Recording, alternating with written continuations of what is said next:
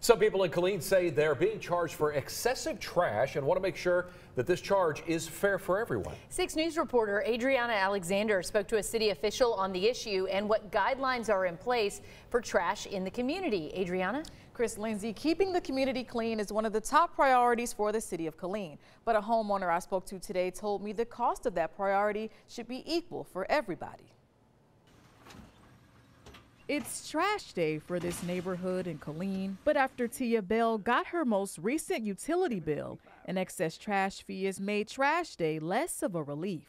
I've seen people where the trash is like all the way, and I'm like, do they know they're getting charged for that? According to the City of Killeen solid waste guidelines, if a trash can can't close all the way because too much trash is inside, residents are charged $7.50. Killeen Executive Director of Communications Janelle Ford explained how this fee is nothing new and it's in place to help keep Killeen clean. In our city, we don't want to leave it there, so we want to make sure it's picked up, and, and but we do have to have some type of way to pay for it to be picked up. Killeen sends out brochures, emails, and social media posts to keep residents informed on waste fees.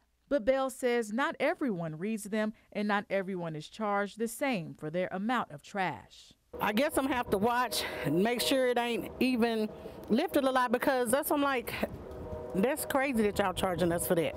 The people that work, the guys, they don't do it to everybody, but that's not fair. If they're gonna do it to one person, they need to do it to everybody. The city charges additional fees for trash exceeding six cubic yards from the can, if there are bulk items near the trash, or if drivers have to load the garbage truck more than twice. To alleviate getting excess trash fees, Ford suggests making sure your trash is in bags to prevent any trash from flying out. Our workers, I really want to praise them. They don't they try to do whatever they can to minimize any fees to our customers. We want to make sure ultimately that our neighborhoods are clean.